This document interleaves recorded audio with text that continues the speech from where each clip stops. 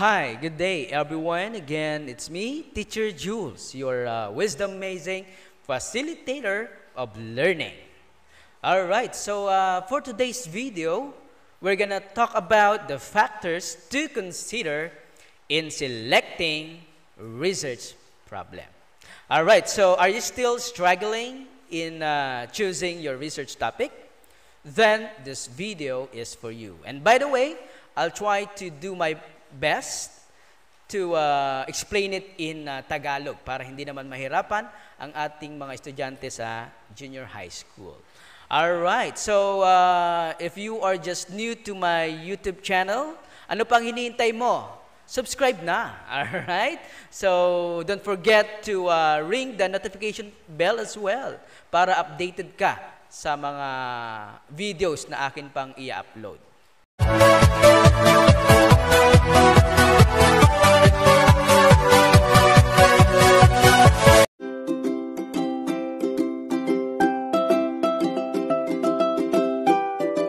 Alright, again, our topic, ang pag-usapan natin ay uh, about choosing your research topic or identifying research problem.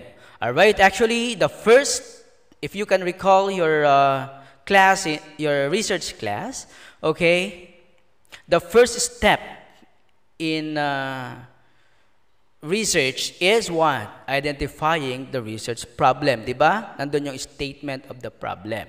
Okay. Ngayon, um, identifying uh, research problem is one of the most difficult thing na ginagawa ng researcher. Di ba? Kasi napaka-broad. Di ba? Sa dami ng topics, di mo alam kung ano yung mas uh, magandang gawan ng research. Alright? Okay. Alright, so uh, for, in this video, bibigyan ko kayo ng tips kung paano, di ba? I-identify yung research problem because we're gonna talk about what? The factors to consider in what? Selecting research problem. Okay. So, what are the factors to consider in selecting a research problem. Ano nga ba yung mga factors na kailangan natin i-consider sa pagpili ng ating research problem for you to come up a good topic, all right? Which is suitable for you. Okay? All right. So, of course, number one is what? Your interest. Okay? Your interest. That is the first thing na i-consider. Okay? So, it should be of researcher's interest and researcher must be with the topic. All right. So, how can you be with the topic if you are not interested in the first place? Right? Okay. So, you have to choose a, you have to uh, Choose a topic or a research problem that motivates you or interests you. Diba? Because a researcher endeavor is usually time-consuming and involves hard work and possibly unforeseen problems. So, you should select a topic of great interest to what? Sustain the required motivation. Diba? So, kung namili ka ng topic or research problem just for your compliance, para lang for the sake of your requirements. Then, hindi, ano, hindi nakalinya sa interest mo. Then what will happen? Okay? Di ba?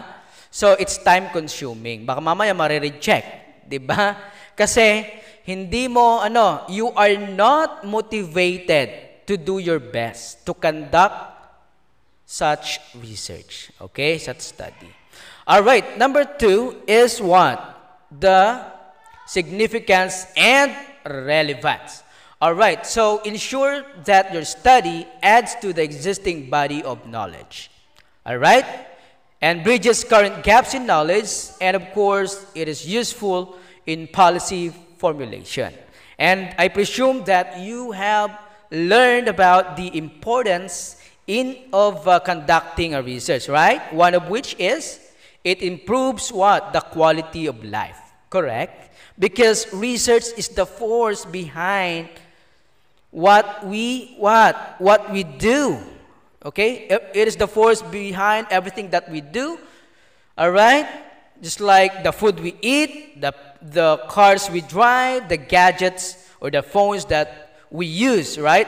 And the medicine we take. Okay?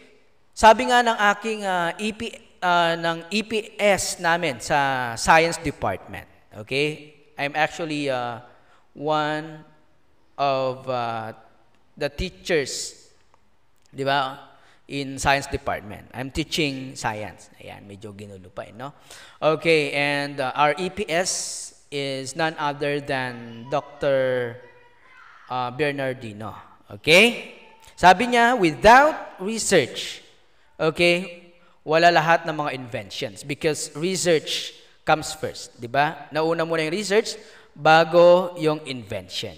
Okay, yun yung naalala ko when uh, when he had his opening remarks. Okay? When nung nagkaroon kami ng Science Fest. Okay, which is true, tama? And uh, we all know that research is truth, uh, truth-seeking. So researchers undergo the systematic process of acquiring information or data, analyzing and interpreting this data to increase knowledge about a phenomenon. Okay? So it should be relevant.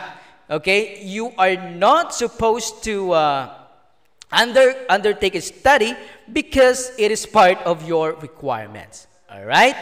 Okay, number three. Ayan. Ayan, naulit. Di ba? Ayan. Just bear with me, guys. I'm having a technical difficulty. All right, number three is the uh, magnitude or the scope of your study. Okay. All right, so it is extremely important to uh, select a topic that you can manage within the time and resources at your disposal. Okay? So you should consider your time and resources. Okay? As much as possible, you narrow your topic down to something manageable, specific, and clear. Diba? Okay, number four, you have to consider the level of your expertise. Okay? Make sure that you have adequate knowledge or expertise for the task you are proposing since you need to do the work yourself. Okay? All right, so meaning you have to choose a topic na nakalinya sa inyong field of expertise. If you are STEM, then stick to a topic that is relevant to your expertise. Diba? All right. Ayan. What else? What are the factors? Number five is the measurement of concepts. Okay? So uh, make sure that you are clear about the uh, indicators and measurement of concepts if used in your study. Okay, that there is uh, there is uh, what we call clarity. Okay, it should not be ambiguous. Okay. All right, number six, availability of data as well. So consider the uh, availability of data involved in the study and the methods and techniques to be employed in gathering them. Okay, so you have to what? Consider the data. Okay, that you're going to collect. Okay, number seven is what? The uh, availability of instruments to be used. Okay, sabi natin kanina, availability of data. So before finalizing on your topic, make sure that the data are available. Okay?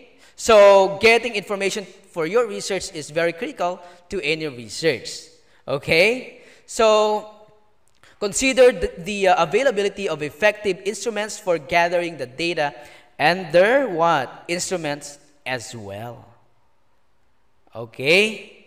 And number eight, you have to consider your time. Consider the time factor involved in the undertaking. Okay? Sabi nga natin kanina.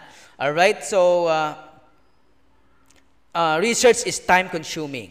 Di ba? So, you should consider your time. Alright? Then, of course, pag nagkandak ka ng research, hindi naman porkit nagkandak ka ngayon, after two years, yung goal mo para matapos. Diba? Okay. Wala na yung reliability.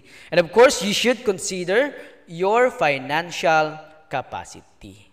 All right, so so uh, consider the financial capacity of the researcher to support the project. Mahirap naman pag magkakanda ka ng research, wala ka palang budget, 'di ba? Mahirapan ka. Okay, number 10 is the uh, ethical issues. Okay? So, ethical issues are research process, uh, processes and findings that affect the sensibilities and rights of research participants. Okay, so the effect of the study on the population and how these ethical problems can be overcome, okay, should be uh, thoroughly examined at the problem formulating stage. Okay, you have to consider naman yung ethics. Baka mamaya conduct ka na ng conduct ng research, okay, you are already violating the privacy na pala ng iba or uh, you are already uh, uh, what we call this committing what? Plagiarism. Okay? All right so uh, number 11 kagaya ng sabi ko kanina clarity it should be clear not ambiguous. Okay? And of course number 12 is originality. It should be something new or different from what has already been written about. So, recency is one of the important element of research na meron ka. It must be something new. Hindi naman yung masyado ng luma, di ba? Mga nagawa na ng research. Okay, you should think of something new or different from what has already been written about. Otherwise, your research will not, uh, won't be uh, what? Uh, interesting to your readers. Okay? So, uh, let's talk about the uh, criteria. Okay? The uh, criteria in uh, selecting your uh, research problem. Okay? Ayan. So, paki-zoom na lang kung hindi nyo masyadong nakikita ang aking uh, slide. Okay, so as you can see, there are sources of problems. Okay, sources of research problems. Okay, it can be from uh, experience, deductions from theory, related literature, and of course, pwede rin sa non-education sources. Now, here is your tentative problem statement. Okay, so these are the things that you need to consider. You should ask yourself before what? Identifying or uh, before selecting a research problem. Of course, number one, is the problem stated clearly? So, if your answer is no, if your problem is ambiguous, then you have to what? What are you going to do? You have to restate. Okay? All right, so if it's uh, stated clearly, then you can proceed. All right, to the next stage. Okay? Next criteria Will the solution contribute to knowledge? If not, you have to, re to uh, reconsider your what? Your research problem. All right? If yes, then proceed to the next question. Is the problem researchable? Then if your problem is not researchable, okay, then you have to rethink of new research problem. Okay? Then if your problem is researchable, then you can what? You can proceed to next question. Is the problem suitable for you? It is some is it something that interests you? Is, is this something that uh, what we call this motivates you? Okay?